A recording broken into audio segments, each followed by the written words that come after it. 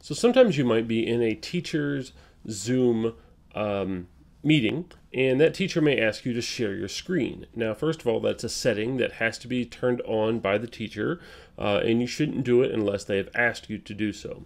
Uh, but the way that works is on my iPad, uh, if I tap to activate my menus at the top, you'll see an option at the top that says Share Content.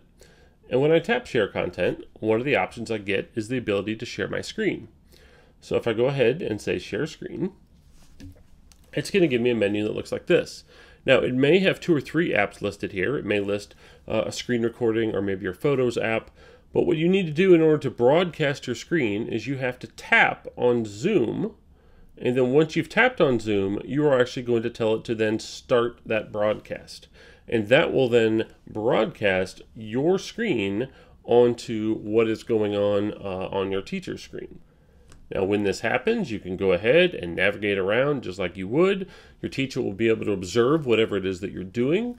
Uh, they may be trying to give you help remotely, or they, maybe they're looking for you to give a presentation remotely, uh, and this is a way uh, to be able to do that. Now, you can also um, share other things besides just your screen. Uh, you can go ahead and share photos from your photo library. You can share files from your iCloud Drive, which is essentially your Files app, and I can even tap down here on Browse to be able to access uh, all the files on my iPad and in my iCloud Drive. I can go ahead and tap again on share content and I could share website URLs. So if I have a specific website that I want to share with a class, I can do that.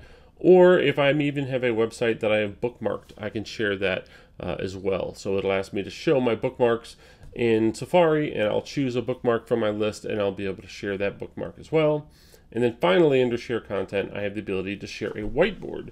And that whiteboard is going to give me a blank whiteboard that I can write and draw on um, that we can go ahead and share uh, together with the other members of that group. So maybe I'm going to be demonstrating a math problem, showing them how to do something, and I have some little settings down here at the bottom where I can erase things, I can change pencil colors, uh, and so on. So whenever I am done, if I simply tap on Stop Share, that will stop sharing and take me back to um, my regular uh, view, which is again either speaker view or gallery view, depending on which one I'm at.